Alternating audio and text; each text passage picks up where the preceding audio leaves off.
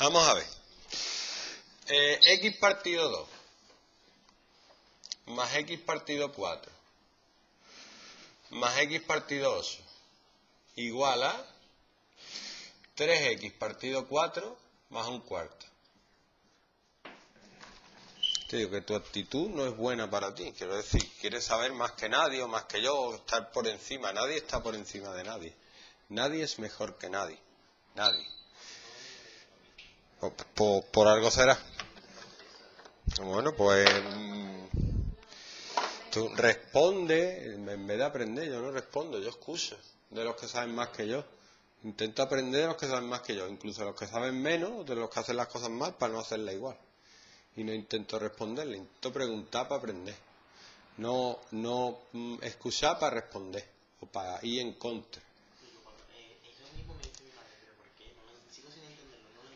¿Vale? Cada vez que te lo diga te diré guau, para que te enteres de que esas cosas no, son.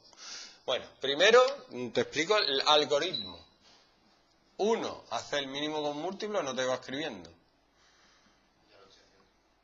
Mínimo con múltiplo de los denominadores. ¿Cuál es el mínimo con múltiplo? 8.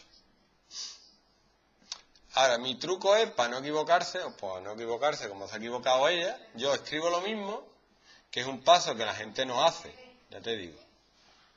Que la gente no hace, lo hace mentalmente y ahí empiezan los errores.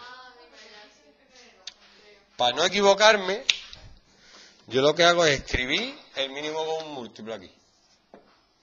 Y ahora va a venir otro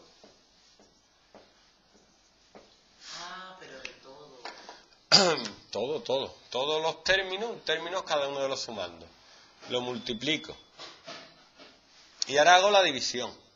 Primero la división. ¿Vale? Entonces, 8 entre 2, 4 por x, 4x. Más 8 entre 4, 2 por x, 2x.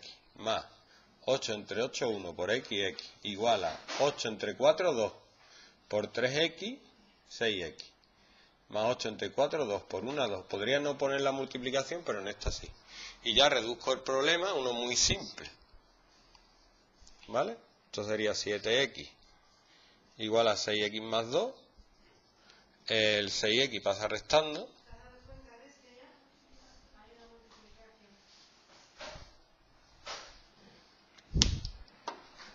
Entonces, el concepto es buscar mínimo múltiplo, multiplicar cada uno, pero ahora lo vamos a hacer con paréntesis para